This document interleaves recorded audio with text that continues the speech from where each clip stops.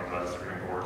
Yeah, that just came out, I believe, at nine uh, nine o'clock central. Uh, we're still digesting that. We've uh, been in contact with uh, the Attorney General and, and uh, uh, his first assistant, gave us a briefing on that a couple days ago, and so we're still digesting that information. It's going to have, um, obviously, with the criminal with the criminal cases, it's going to have.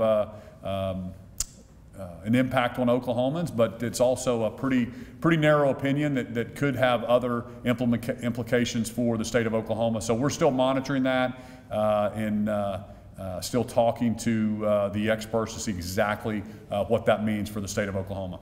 You're a Tulsa guy, Tulsa, you know, partially being within the boundaries of Muscogee Creek Nation. Have you heard from some of your fellow business folks and leaders back in County about this? Uh, no, it's just it's so new. Uh, obviously, we're, we're trying to figure out what does what does uh, federal prosecution mean, and the state does not prosecute certain crimes. Does it stop on the on the prosecution of crimes, or does it does it move into taxations?